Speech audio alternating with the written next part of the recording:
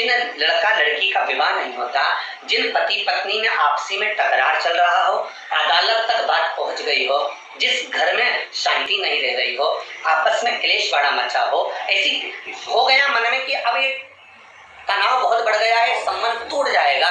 तो निवेदन है, सोमती अमावस्या के दिन आप भी, सोमती अमावस्या के दिन पीपल के वृक्ष के नीचे जाकर, उस पीपल की पूजन कर कर, उस कुंकु सिंदूर चंदन समर्पित कर कर कच्चे सूत से सात परिक्रमा करिए।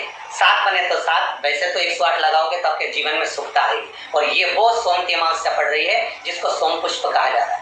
पुष्य नक्षत्र पड़ रहा है और ऐसे श्रावण के अंतर्गत पड़ रही है, जिसमें दो शनि प्रदोष है, जो स्वयं भगवान शंकर के लिए शुभ है। आप एक सौ आठ फेरी लगाएँ, चाहे दाने से लगाएँ, चिरंजी से लगाएँ, जिससे भी लगाएँ, पीपल की पूजन करें, जल अर्चना करें। इतना निवेदन करता हूँ कि आपके घर में अशांति नहीं हो सकती, परिवार में प्रेम ज़रूर करेगा।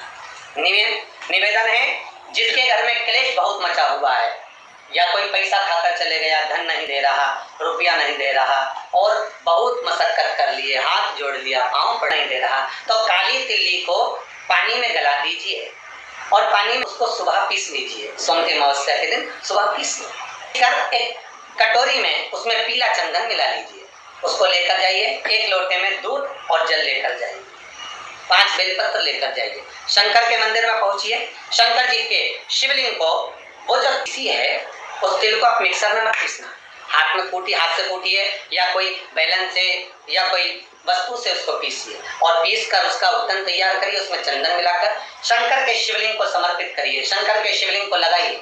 केवल शिवलिंग को ही नहीं भगवान शंकर की संपूर्ण जलाधारी पर जहाँ शंकर भगवान की बेटी अशोक है, कार्तिकेय जी हैं, गणेश जी हैं, उस पूरे जलाधारी में जहाँ पार्वती मैया भी विराजमान है, पूरी जलाधारी को समर्पित करिए।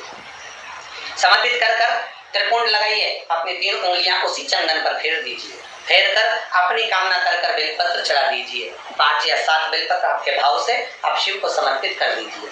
समर्पित कर कर हाथ में कलश लेकर दूध और जल मिला हुआ पात्र लेकर शंकर को समर्पित करिए। और बाबा भोलेनाथ से विनती करिए कि जिस व्यक्ति ने हमारा धन खाया है, जिस व्यक्ति ने पैसा रख लिया, या कोई लेकर चले गया, या कोई ऐसा काम हो गया कि वो धन आ ही नहीं रहा है, बहुत तकलीफ़ में है तो बाबा से विनती करो।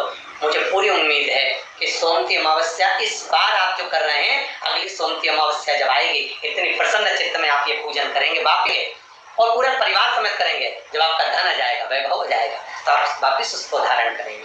फिर निमित्त और लिख के रखना